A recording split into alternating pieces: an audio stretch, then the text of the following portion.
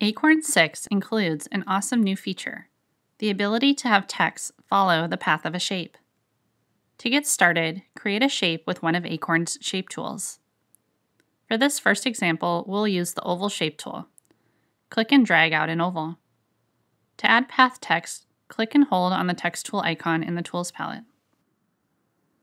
A drop-down menu will appear. Choose Path Text.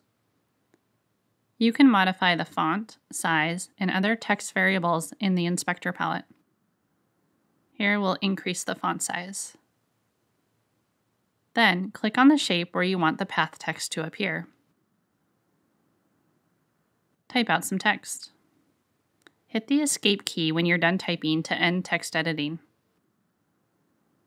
To change where the text starts on the shape, you can use the On Canvas control present at the start of the text.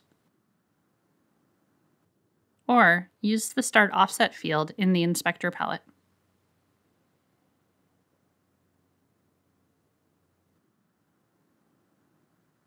To move or rotate the shape, choose the Move tool.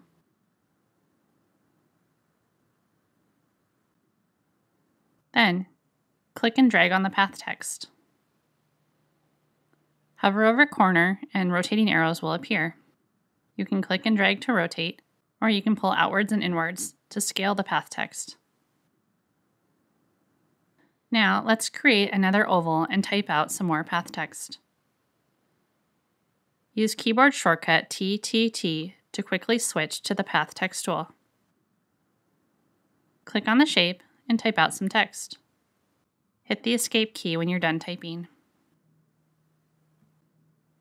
If you want your text to follow the inside of the shape, go to Shape, Bezier Stuff, Reverse Path. To move the text below the path line, make sure your text is selected for editing and adjust the baseline slider in the Inspector palette.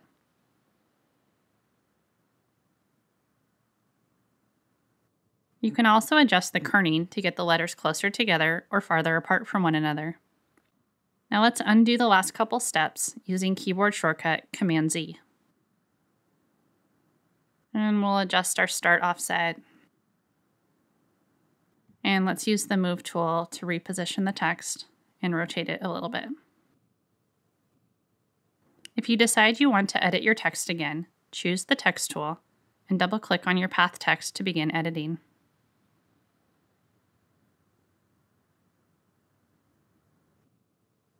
You can create some really fun path text by creating shapes using the Bezier pen tool.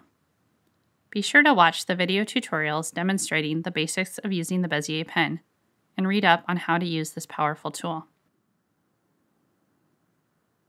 We will quickly follow along the tree trunk using the Bezier pen, and when we're done, we'll hit the Escape key.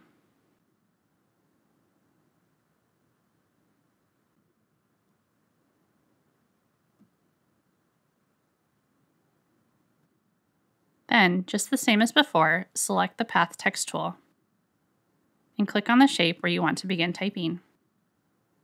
Let's decrease the font size and type out some text.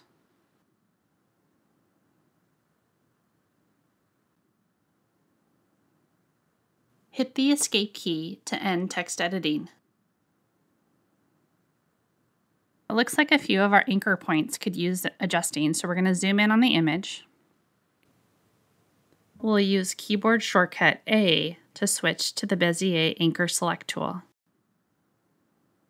Now we can go along and click and drag on our anchor points in order to reposition them. We're aiming to have the text just right above the tree trunk. We can also click and drag on the control handles to change the angle of the Bezier path. So this tutorial covered the basics of using Acorn's Path text tool. Be sure to check out Acorn's additional written and video tutorials to learn more about editing images with Acorn.